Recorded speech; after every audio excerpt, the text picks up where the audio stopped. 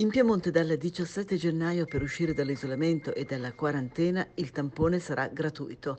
A deciderlo è la Regione con una delibera che sarà approvata in giunta e renderà gratuiti tutti i tamponi necessari per poter riprendere la normale vita sociale, inclusi quelli antigenici rapidi eseguiti nelle farmacie e nelle strutture private.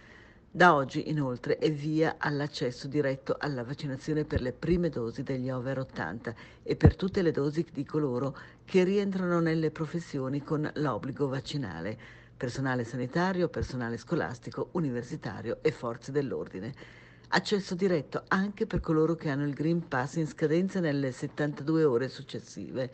Sempre oggi sono al via le preadesioni sul portale per le prime dosi degli under 50 per i quali il governo ha previsto a partire dall'8 gennaio l'obbligatorietà del vaccino. Nonostante un numero di positivi più alto rispetto alle ondate precedenti, si sta registrando un livello di ospitalizzazione notevolmente contenuto. Insieme al protocollo delle cure domiciliari e ai vaccini, affermano il governatore Cirio e l'assessore Cardi, gli anticorpi monoclonali forniscono al Piemonte un'arma in più contro il Covid-19 nella fase precoce si tratta di una cura da praticare in un ambulatorio specializzato o in ospedale, ma l'aspetto fondamentale rimane la corretta e tempestiva interazione tra il sistema di medicina territoriale e gli ospedali.